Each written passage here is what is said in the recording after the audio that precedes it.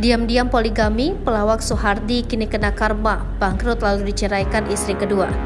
Seorang pelawak senior tanah air menceritakan keterpurukannya di masa lalu, mulai dari godaan diam-diam poligami, bangkrut hingga akhirnya sadar pentingnya bersyukur.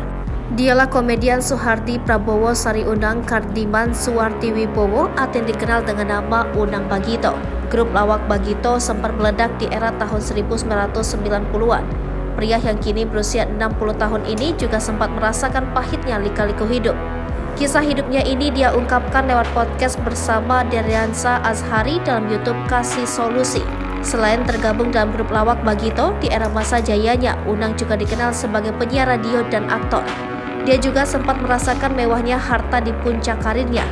Ketika Tuhan memberikannya rezeki yang melimpah, itu justru membuatnya lupa diri. Ujian hidup sebenarnya untuk Unang bukanlah harta ataupun tahta melainkan wanita. Keterpurukan Unang dimulai ketika dirinya tergoda untuk diam-diam melakukan poligami. Pernikahan keduanya inilah yang membawanya ke dalam titik terendah dalam hidupnya. Hal ini lantaran Unang melakukan pernikahan kedua atau poligami tanpa diketahui oleh istri pertamanya Zarnis.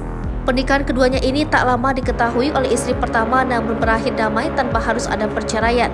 Saat dengan istri pertama, Unang telah menyerahkan seluruh aset yang dimilikinya berupa rumah, tanah, hingga kendaraan. Kondisi ini membuatnya harus hidup mulai dari nol bersama istri barunya. Kehidupan Unang dengan istri kedua jauh dari kata mewah tak seperti sebelumnya. Bahkan mereka harus rela tinggal di gudang kontrakan. Dikala Unang sedang berjuang bangkit dari hidup susahnya, sang istri kedua justru minta pisah. Pisah dari istri kedua, Unang akhirnya kembali ke istri pertamanya yang memang belum diceraikan. Beruntungnya kala itu, Unang masih mendapatkan job syuting beberapa kali. Honor dari syuting ini masih bisa ia gunakan untuk makan sehari-hari.